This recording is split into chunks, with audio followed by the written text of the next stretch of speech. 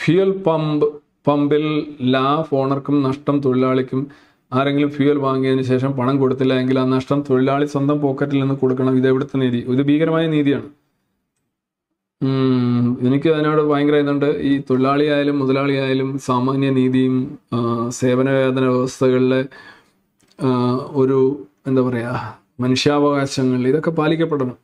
ഇപ്പോൾ നമ്മളൊരു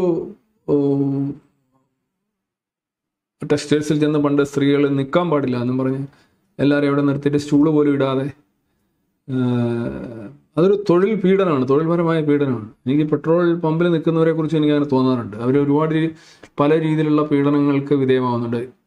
അത് വളരെ ഭീകരമായിട്ടുള്ളത് കൊണ്ട് വളരെ ചെറിയതുണ്ട്. ഉദാഹരണമായിട്ട് അവരുടെ ഒരു ഡീസൽ അടിക്കാൻ ചെല്ലുമ്പോൾ അവർ ചോദിക്കും ഞങ്ങളുടെ ഒരു മറ്റേ ഒരു സൂപ്പർ ഡീസൽ ഉണ്ട് അതടിക്കട്ടോ എന്ന് അവർ ചോദിക്കും.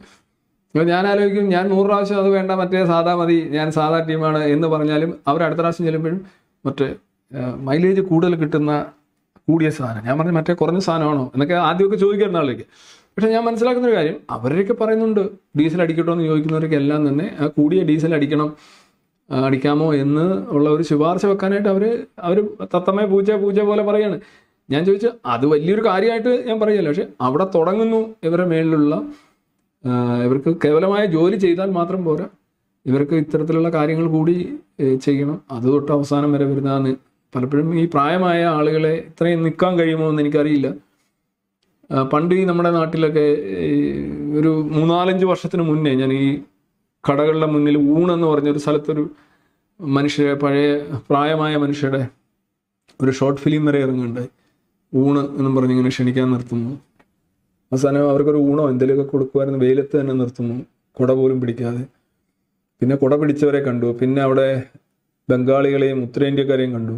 ഇപ്പോഴും ഉണ്ടെന്ന് തോന്നുന്നു അല്ലേ? ഇപ്പോഴും ഉണ്ട്.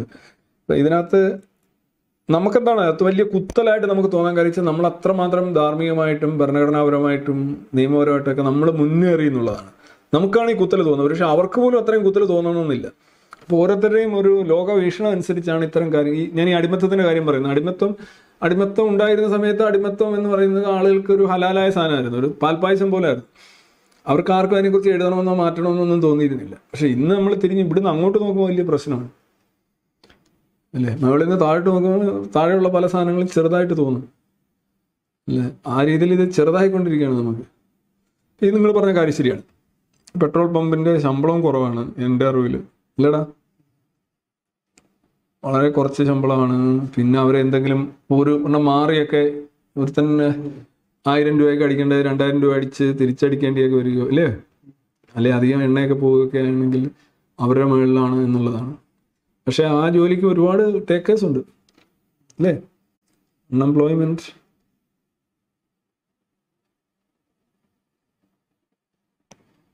അമേരിക്കയിലൊക്കെ ആണെങ്കിൽ അവിടെ ചെന്ന് നമ്മൾ തന്നെയാണ് അടിക്കുന്നത് എണ്ണ.